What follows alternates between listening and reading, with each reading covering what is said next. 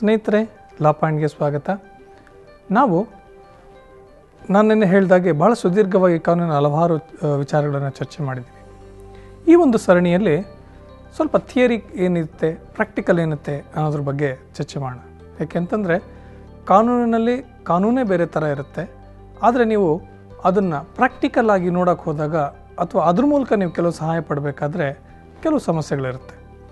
ನಾನು ನಿನ್ನೆ ಹೇಳ್ತಾ ಇದ್ದೆ ಬಹಳಷ್ಟು ಜನ ಫೋನ್ ಮಾಡಿ ಹೇಳ್ತಾರೆ, ಸರ್, ಈ ಥರ ಕಾನೂನು ಇದೆಯಲ್ಲ, ಆದರೂ ನಮ್ಗೆ ಯಾಕೆ ನ್ಯಾಯ ಸಿಗ್ತಾ ಇಲ್ಲ?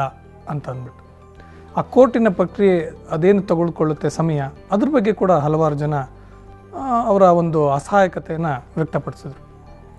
ನೋಡಿ, ಈ ಒಂದು ಕೋರ್ಟಿನ ಪ್ರಕ್ರಿಯೆ ಅನ್ನೋದೇನಿದೆ, ಅದು ವೆಲ್ ಎಸ್ಟಾಬ್ಲಿಷ್ಡ್ ಹಲವಾರು ಬಾರಿ ನಿಮ್ಮ ಒಂದು ಹೂವಿಗೆ ಸಿಗೋದಿಲ್ಲ ಅದು ಏನು ಅಂತಂದ್ಬಿಟ್ಟು. ಆದರೆ ನಮ್ಮ ಒಂದು ಸಂವಿಧಾನ ಅಥವಾ ನಮ್ಮ ಕಾನೂನಿನ ಉದ್ದೇಶ ಏನಪ್ಪ ಅಂತಂದರೆ ಒಂದು ನೂರು ಜನ ಅಪರಾಧಿಗಳು ತಪ್ಪಿಸ್ಕೊಂಡ್ರು ಚಿಂತೆ ಒಬ್ಬ ನಿರಪರಾಧಿಗೆ ಶಿಕ್ಷೆ ಆಗಬಾರ್ದು ಅಂತ ಅಂತ ಅಂದರೆ ನಮ್ಮ ಸಂವಿಧಾನ ಒಬ್ಬ ವ್ಯಕ್ತಿ, ಆತನ ಸ್ವಾತಂತ್ರ್ಯ ಆತನ ಸ್ವಾತಂತ್ರ್ಯ ಅವನಿಗೆ ಯಾವ ಆಗಬಹುದಾದ ಸಮಸ್ಯೆಗಳು, ಆಮೇಲಿಂದ ಯಾವ ರೀತಿ ಸಹಾಯ ಮಾಡಬೇಕು ಅಂತ ಬಹಳ ಕ್ಲಿಯರಾಗಿ ಅವ್ರಿಗೆ ಐಡಿಯಾ ಇದೆ. ಹಾಗಾಗಿ ಈ ಒಂದು ಏನು ನಮ್ಮ ಸಿವಿಲ್ ಪ್ರೊಸೀಜರ್ ಕೋಡ್ ಅಂತ ಹೇಳ್ತಾ, ಹೇಳ್ತೀವಿ, ಕ್ರಿಮಿನಲ್ ಪ್ರೊಸೀಜರ್ ಕೋಡ್ ಅಂತ ಏನು ಹೇಳ್ತೀವಿ, ಅಲ್ಲಿ ಪ್ರತಿಯೊಬ್ಬರು ಬಿಯಾಂಡ್ ಎ ಡೌಟ್ ಆ ಒಂದು ತಪ್ಪನ್ನು ಪ್ರೂವ್ ಮಾಡಬೇಕಾಗತ್ತೆ. ಆಮೇಲಿಂದ ಬಹಳ ಏನು, ಜನಗಳಿಗೆ ಬಹಳ ಕಾಳ, ಕಾಲಾವಕಾಶ ಕೊಡ್ತಾರೆ ಅವರು. ಪ್ರೂವ್ ಮಾಡ್ಕೊಳ್ಳೋದಕ್ಕೆ, ಅಂದರೆ ನೀವು ನಾನು ತಪ್ಪು ಮಾಡಿದ್ದೀನಿ ಅಥವಾ ಮಾಡಿಲ್ಲ ಅಂತ ಹೇಳೋದಕ್ಕೆ. ಆಮೇಲಿಂದ ಪ್ರತಿಯೊಂದು ಪ್ರಕ್ರಿಯೆಯಲ್ಲಿ ತನ್ನದೇ ಆದ ವೈಶಿಷ್ಟ್ಯ ಇರುತ್ತೆ. ಪ್ರತಿಯೊಂದು ಕೇಸು ನಿರ್ದಿಷ್ಟವಾಗಿ ಇದೇ ರೀತಿ ಅಂತ ನಾವು ಹೇಳಕ್ಕೆ ಹೇಳ ಆಗೋದಿಲ್ಲ. ಹಾಗಾಗಿ ಈ ಎಸ್ಪೆಷಲಿ ಸಿವಿಲ್ ವಾದ್ಯಗಳಲ್ಲಿ ಬಹಳಷ್ಟು ಟೈಮ್ ಹಿಡಿಯುತ್ತೆ.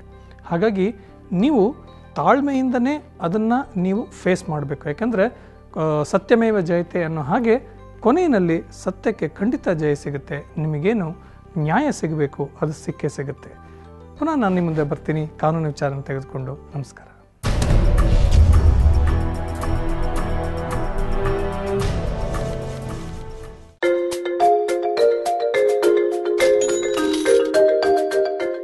ಸ್ನೇಹಿತರೆ, ನಮಸ್ಕಾರ. ನೀವು ನೋಡ್ತಾ ಇದ್ದೀರಾ ಮನಿ ಪ್ಲಾಂಟ್. ನಾನು ರವೀಂದ್ರ ಜೋಶಿ. ಸ್ನೇಹಿತರೆ, ಎಂದೂ ಗ್ರಾಹಕರ ಬಗ್ಗೆ ನಿಮಗೆ ಪೂರ್ವಾಗ್ರಹ ಇರಬಾರ್ದು. ಏನು ಹಾಗಂದರೆ ಫಾರ್ ಎಕ್ಸಾಂಪಲ್ ಒಂದು ದೊಡ್ಡ ಶಾಪ್ ನೀವು ಏನು ಕೇಳ್ತೀರಿ, ಎಲ್ಲ ವಸ್ತುಗಳು ಆ ಶಾಪ್ನಲ್ಲಿ ಲಭ್ಯ ಇದ್ದಾವೆ ಅಂಗಡಿನಲ್ಲಿ ಸೇಲ್ಸ್ ಪರ್ಸನ್ಸು ಇದ್ದಾರೆ ಎಲ್ಲವೂ ಇದೆ. ಗಿರಾಕಿನೇ ಇಲ್ಲ. ಇದು ಯಾಕೆ ಹೀಗಾಗಿದೆ ಅನ್ನೋದನ್ನು ನೀವು ಸ್ಟಡಿ ಮಾಡಬೇಕಾಗತ್ತೆ. ಬಹಳಷ್ಟು ಅಂಗಡಿಗಳಲ್ಲಿ ಅಲ್ಲಿರೋ ಸೇಲ್ಸ್ ಪರ್ಸನ್ ಆಗಲಿ, ಅಲ್ಲಿ ಒಡೆಯ ಆಗಲಿ, ಗಿರಾಕಿಗಳ ಬಗ್ಗೆ ಪೂರ್ವಾಗ್ರಹ ಹೊಂದಿರ್ತಾನೆ. ಆತ ಒಳಗೆ ಬರುವಾಗಲೇ ಇವನಿಗೆ ವ್ಯಾಪಾರ ಮಾಡೋದಿಲ್ಲ ಅನ್ನುವಂಥ ಪೂರ್ವಾಗ್ರಹ. ಇವನು ಸುಮ್ಮನೆ ನೋಡಿ ಹೋಗ್ಲಿಕ್ಕೆ ಬಟ್, ಬಟ್ಟೆ ನೋಡಿ ಹೋಗ್ಲಿಕ್ಕೆ ಬಂದಿದ್ದಾನೆ, ವಸ್ತುಗಳು ನೋಡಿ ಹೋಗ್ಲಿಕ್ಕೆ ಬಂದಾನೆ ಖರೀದಿಗೆ ಬಂದಿಲ್ಲ ಅಂತ ಇವನೇ ಅನ್ಕೊಂಡ್ಬಿಡೋದು. ಬಂದಿರೋ ವ್ಯಕ್ತಿ ಖರೀದಿ ಮಾಡ್ತಾನೋ ಇಲ್ಲೋ ಎನ್ನುವುದನ್ನು ನಾವು ತೀರ್ಮಾನ ಮಾಡುವುದಲ್ಲ. ಬಂದ ವ್ಯಕ್ತಿಯನ್ನು ಆಕರ್ಷಿಸಿ ಆತ ಖರೀದಿ ಮಾಡೋದನ್ನ ಅಲ್ಲದೆ ಹೋದರೂ ಖರೀದಿ ಮಾಡುವ ಹಾಗೆ ಆತನ ಮನಸ್ಥಿತಿಯನ್ನ ಬದಲಾಯಿಸುವುದು ವ್ಯಾಪಾರಿಯ ಕರ್ತವ್ಯ. ಏನಾಗತ್ತೆ? ಸೇಲ್ಸ್ ಪರ್ಸನ್ ಹತ್ರ ಒಬ್ಬ ವ್ಯಕ್ತಿ ಹೋಗ್ತಾನೆ. ಹೋದ ತಕ್ಷಣ ಅವನು ಕೇಳಿದ ವಸ್ತುವನ್ನ ಇವ್ರು ತೋರಿಸ್ಲಿಕ್ಕೆ ಹಿಂದೇಟ್ ಹಾಕ್ತಾರೆ. ಇವನ್ ಹೇಗಿದ್ರು ತೆಗೆದು ತೆಗೆದುಕೊಳ್ಳೋದಿಲ್ಲ ಆದ್ದರಿಂದ ಇವ್ನು ತೋರಿಸಿ ವೇಸ್ಟ್ ಆಗುತ್ತೆ ಟೈಮ್ ಅಂತ ಇವ್ರ ಭಾವನೆ. ಇವ್ರು ಕೂತಿರೋದೇ ಅವನ ವಸ್ತುಗಳನ್ನ ತೋರಿಸ್ಲಿಕ್ಕೆ.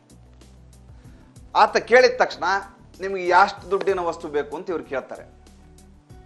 ಆತ ಕೊಳ್ಳುವ ಗ್ರಾಹಕ ಒಂದು ಬಿಟ್ಟು ಹಸ್ತು ವಸ್ತುಗಳನ್ನು, ವೈವಿಧ್ಯಮಯ ವಸ್ತುಗಳನ್ನು ತೋರಿಸಿದಾಗ ಯಾವುದಾದ್ರೂ ಒಂದಕ್ಕೆ ಆಕರ್ಷಿತಗೊಂಡು ಖರೀದಿಸುವಂಥ ಅವಕಾಶವನ್ನ ಈ ಸೇಲ್ಸ್ ಪರ್ಸನ್ಗಳು ಆ ಅವಕಾಶದಿಂದ ವಂಚಿತರನ್ನಾಗಿ ಮಾಡ್ತಾರೆ. ಜೊತೆಗೆ ಯಾವ ಒಡೆಯ ದುಡ್ಡನ್ನ ಆ ಶಾಪಿಗೆ ತೊಡಗಿಸಿದ್ದಾನೋ ಆತನಿಗೆ ಆಗಬೇಕಾದ ಧನಾರ್ಜನೆಯನ್ನ ಈ ಸೇಲ್ಸ್ ಪರ್ಸನ್ಗಳು ಅವಾಯ್ಡ್ ಮಾಡ್ತಾರೆ. ಅಂದರೆ ಎಲ್ಲಿ ವ್ಯಾಪಾರ ನಡೆಯಬೇಕು ಅಲ್ಲಿ ವ್ಯಾಪಾರ ನಡೆಯಲಾರದ ಹಾಗೆ ಮಾಡುವಂಥ ಒಂದು ವ್ಯವಸ್ಥೆಯನ್ನು ಇವ್ರು ಮಾಡ್ಕೋತಾರೆ. ಯಾಕೆ ಅಂದರೆ ಇವರೆಲ್ಲ ಗ್ರಾಹಕರ ಬಗ್ಗೆ ಪೂರ್ವಾಗ್ರಹ ಪೀಡಿತರಾಗಿರ್ತಾರೆ. ಯಾಕೆ ಹೀಗಾಗತ್ತೆ? ಬಹಳಷ್ಟು ಸಲ ಬಂದ ಗ್ರಾಹಕ ವಸ್ತುಗಳನ್ನು ನೋಡ್ತಾನೆ ವಿನಃ ಆ ಕ್ಷಣದಲ್ಲಿ ಆತನಿಗೆ ತೆಗೆದುಕೊಳ್ಳಬೇಕಂತ ಮನಸ್ಥಿತಿ ಇಲ್ಲದೆ ಇರೋದರಿಂದ ತೆಗೆದುಕೊಂಡಿರೋದಿಲ್ಲ.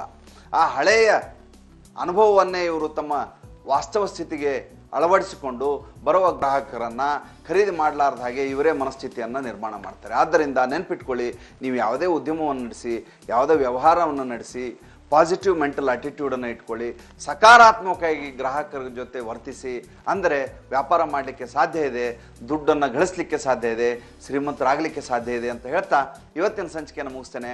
ನಾಳೆ ಹೊಸ ವಿಚಾರದೊಂದಿಗೆ ಬರ್ತೇನೆ. ಅಲ್ಲಿವರೆಗೂ ನಮಸ್ಕಾರ ಸ್ನೇಹಿತರೆ.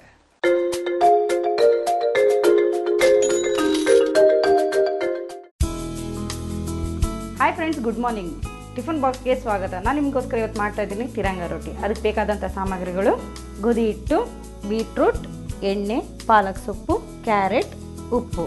ಬೀಟ್ರೂಟ್ನ ತುರಿದು ಗೋಧಿ ಹಿಟ್ಟು ಮಿಕ್ಸ್ ಮಾಡಿ ರೆಡಿ ಮಾಡ್ಕೊಂಡ್ರಂತ ಹಿಟ್ಟಿದು ಹಾಗೆಯೇ ಸೇಮ್ ಪಾಲಕ್ ಸೊಪ್ಪನ್ನ ರುಬ್ಬಿಟ್ಟು ಅದಕ್ಕೆ ಗೋಧಿ ಹಿಟ್ಟು ಮಿಕ್ಸ್ ಮಾಡಿ ಇಟ್ಕೊಂಡ್ರಂಥ ಹಿಟ್ಟಿದು ಹಾಗೆ ಕ್ಯಾರೆಟ್ ತುರಿನ ತುರಿದು ಅದನ್ನು ಪೇಸ್ಟ್ ಮಾಡಿ ಮಿಕ್ಸ್ ಮಾಡಿರೋಂಥ ಹಿಟ್ಟು. ಬನ್ನಿ ಈಗ ಹೇಗೆ ಮಾಡೋದಂತ ನೋಡೋಣ. ಫಸ್ಟು ಕ್ಯಾರೆಟ್ ಮಿಕ್ಸಿಂಗ್ ತೊಗೊಂಡಿದ್ದೀವಿ ಇದಕ್ಕೆ ಸ್ವಲ್ಪ ಡ್ರೈ ಹಿಟ್ಟನ್ನ ಅದ್ಕೊಂಡು ಸೇಮ್ ಚಪಾತಿ ರೀತಿಲೇ ಮಾಡಬೇಕು. ನೆಕ್ಸ್ಟು ಪಾಲಕ್ ಸೊಪ್ಪಿಂದು. ಅದನ್ನು ಅದ್ರ ಮೇಲೆ ಡ್ರೈ ಹಿಟ್ಟನ್ನ ವೆಟ್ ಮಾಡಿ ಈ ಥರ ಇಟ್ಬಿಟ್ಟು ಪ್ರೆಸ್ ಮಾಡಿ ಇದು ಮಾಡಬೇಕು. ಯಾಕಂದರೆ ಅದು ಅದರೊಳಗಡೆ ಸ್ಟಿಫ್ ಆಗಬೇಕು. Next beetroot. ಸೊ, ಇದು ಮೂರು ಫುಲ್ ಹೆಲ್ತಿ ಆದಂಥ ಫುಡ್ಡು ಮಕ್ಕಳಿಗೆ ತುಂಬ ಚೆನ್ನಾಗಿರುತ್ತೆ. ಇಷ್ಟಪಟ್ಟು ತಿಂತಾರೆ ಡಿಫ್ರೆಂಟಾಗಿದ್ದಾಗ ಸ್ವಲ್ಪ ತುಂಬಾ ಪ್ರೆಸ್ ಮಾಡಿ ಮಾಡಿದಾಗ ಅದು ಒಂದಕ್ಕೊಂದು ಪ್ರೆಸ್ ಆಗುತ್ತೆ. ಸ್ವಲ್ಪ ತೆಳ್ಳಗೆ ಮಾಡ್ಕೊಳ್ಳಿ.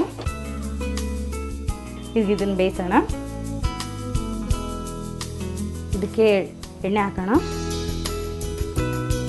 ಮೇಲೆ ಕೆಳಗೆ ಎರಡು ಕಡೆ ಎಣ್ಣೆಯಿಂದ ಹಾಕಿ.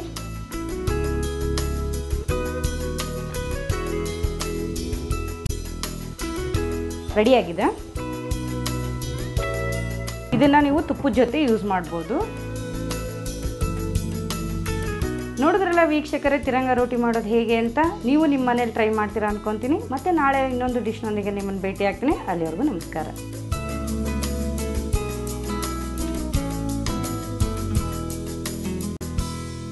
ಹೀಗೆ ಒಂದು ಕಾಲ್ ಪಾದ ಮುಂದಕ್ಕಿರುತ್ತೆ. ದ ಅದರ್ ಒನ್ ಹೀಗೆ ಹೋಗುತ್ತೆ ಸೈಡಿಗೆ ಹೋಗುತ್ತೆ. ಎವ್ರಿ ಟೈಮ್ ಹೀಗೆ ಹೋಗಿ ವಾಪಸ್ ಬನ್ನಿ ಟೂ ಬ್ಯಾಕ್ ತ್ರೀ